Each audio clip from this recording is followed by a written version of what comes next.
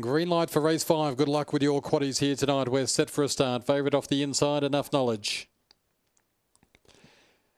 Ready and racing. Enough knowledge off the one began well. Not as well as I'm a lady, though. It's going to cross and lead by three. Enough knowledge. Paris Benz whips around the outside. Also on the improvers at Hara Bay. Followed by Arabian Story. Three off in the field. Allegro Dotty. Little short back to last as Paris lights up in front. I'm a lady leads by four. Paris Benz in second. To the outside at Hara Bay. But it's well clear. I'm a lady up the straight at Hara Bay to second. But I'm a lady one by three at Hara Bay. Paris Benz third. Allegro Dotty got home for fourth from enough knowledge. Then came Arabian Story, Little Short, and Paris Lights at the towel. Time's about 24.60.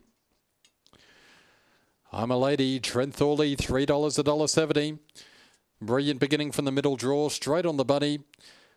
And has run them off their legs at Hara Bay second. Paris Benz third. Allegro Dotty back and forth. The middle and wide boxes dominate again. 6, 8, 4 and 5 and 24.59.